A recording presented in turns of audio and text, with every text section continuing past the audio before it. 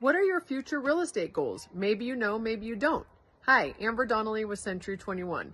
As your trusted real estate advisor, I'd like to go over what your goals are. Whether you're looking to invest, use the equity for a rental, or buy something bigger, smaller, or just stay where you're at. I'd love to help you. It's a no obligation meeting with me via Zoom if you prefer, or one on one in person. Just reach out to me, ambersellsthesierras.com. Know anyone else who would like some more information on their real estate goals?